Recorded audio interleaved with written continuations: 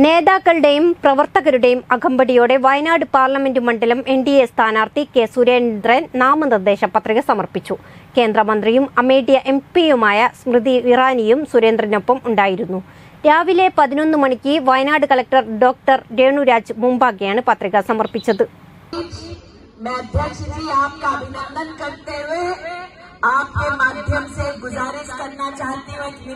രാവിലെ പതിനൊന്ന് മണിയോടെ വയനാട് കളക്ടർ ഡോക്ടർ രേണുരാജ് മുമ്പാകെയാണ് കെ സുരേന്ദ്രൻ പത്രിക സമർപ്പിച്ചത്. കേന്ദ്രമന്ത്രിയും അമേഠി എം പിയുമായ സ്മൃതി ഇറാനിയും സുരേന്ദ്രനൊപ്പം ഉണ്ടായിരുന്നു. സ്മൃതി ഇറാനിക്കൊപ്പം റോഡ് ഷോ ആയാണ് സുരേന്ദ്രൻ പത്രിക സമർപ്പിക്കാൻ എത്തിയത് വൻ സ്വീകരണമാണ് ജനങ്ങളും പ്രവർത്തകരും ഇവർക്ക് നൽകിയത്. ആയിരങ്ങൾ റോഡ് ഷോയിൽ പങ്കെടുത്തു.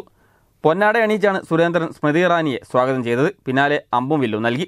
റോഡ് ഷോയ്ക്കിടെ ജനങ്ങളെ സ്മൃതി ഇറാനി അഭിസംബോധന ചെയ്യുകയും ചെയ്തു.